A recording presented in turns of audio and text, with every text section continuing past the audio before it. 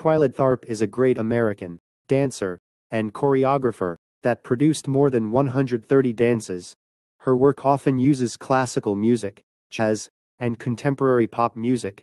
She toured extensively around the world, performing original works.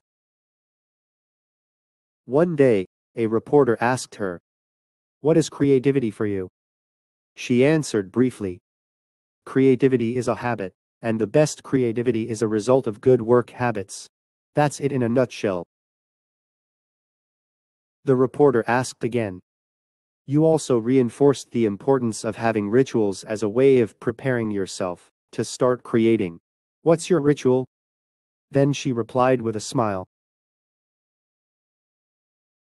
I begin each day of my life with a ritual. I wake up at 5.30 a.m. put on my workout clothes, my leg warmers, my sweatshirts, and my hat.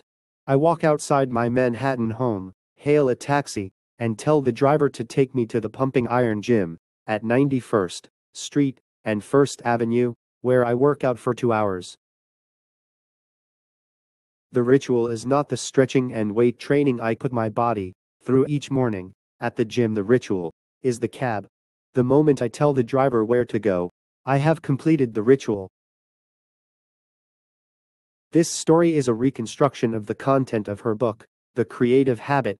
The moment she asks the driver where to go is the moment her mind shifts its focus to start working and creating. That's right. Creativity is a combination of hard work and consistency.